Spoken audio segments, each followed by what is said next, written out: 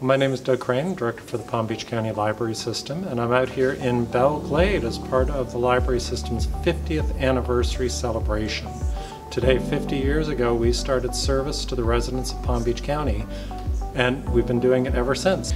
And out here in Belle Glade, we were having a party with uh, our gecko friend coming in to entertain the kids.